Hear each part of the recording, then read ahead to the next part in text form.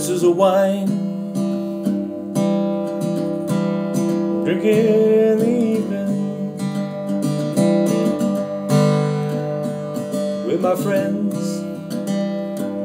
Occasionally, when they come round to my house.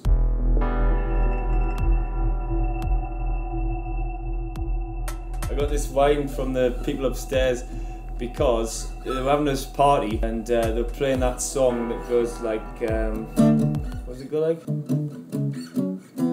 Diddling, diddling, diddling. What does it go like? Daft Punk. And when it got to the bit that goes, they were all banging on the floor, like jumping up and down. Today, the lady came with a box of chocolates and a bottle of Malbec, which I'm going to review for you because I know that lots of people like Malbec. Careful not to go on my shirt. Put the frog in. You see the frog? Right, Trafic Malbec 2013 from the co-op, 8.99 a bottle. I've had some decent wines from the co-op recently, occasional hidden gems. Not wrong with the co-op. I wanted to talk about terroir. So terroir is a word that wine people use to describe everything about all the conditions that make a wine possible. So like soil, altitude, wind, the direction it faces the sun, the slope, angle, the soil, everything about it. So that really affects wine. Hey man, stop poking that fire.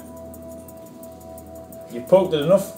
So orig- originally Malbec was found in uh, France. So there's this virus that, that swept across all the vines in the 1800s. And uh, because Malbec's got a thin skin and it's a bit delicate, it caused this rotten thing. So all the Malbec was rotting away, and someone took it to Argentina. It was planted everywhere, basically. So if you look on the bottles, most of the bottles will say Mendoza. That's the area of Argentina where all the Malbec comes from. 70% of the world's production, so it's pretty mega.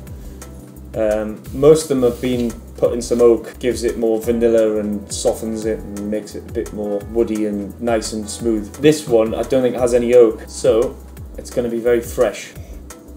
I'm running out of things to say. What have I said so far? The scent, oh yeah. Well, it smells of alcohol. 14. I'm going to be steaming too, like. Very fresh. Bit, a bit of cherry, chocolate. It might, it might just because I've had a chocolate cake.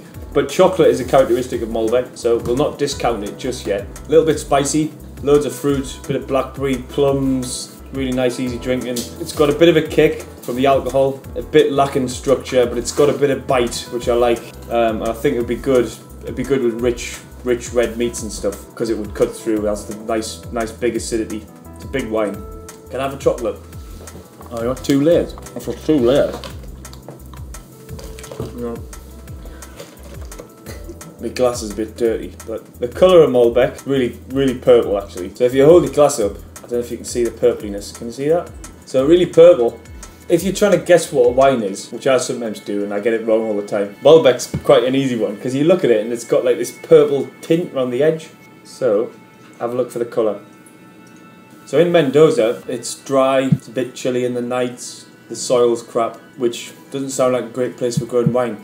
But some clever bastard found that glacial runoff in the Andes that could harness that water, put it into some irrigation channels, and then uh, water the vines with it. The fact that there's not that much water there means that the vines don't get massive. So if you have a vine with loads of grapes on it, then it's not going to be that good quality. That's that's the whole point of, of the winemaker chopping off bits that. It's got on my shirt. Well, you may be wondering why I'm wearing a different shirt. Well, it's because I spilt wine on the other one obviously. So it's in the wash now. I do like a good Malbec. Whenever I go to a steak restaurant, it's the only one that I can afford really, so I usually get Malbec. Yeah, so if you like big full bodied wines, easy drinking, fruity, just nice wine, you'll probably like Malbec. That's it.